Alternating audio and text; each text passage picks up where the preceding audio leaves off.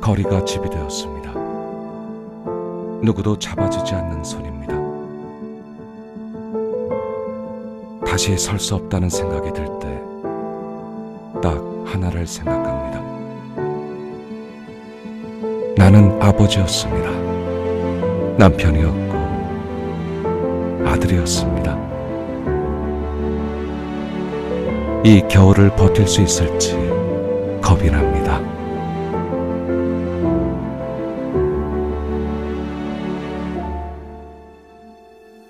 노숙인 분들에게 온기와 희망을 전해주세요.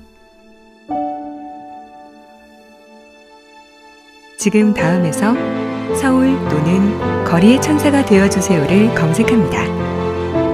가치가치 서비스 캠페인 페이지에서 응원 클릭, 공유하기에 참여해주세요. 클릭할 때마다 유니클로가 천 원을 기부합니다.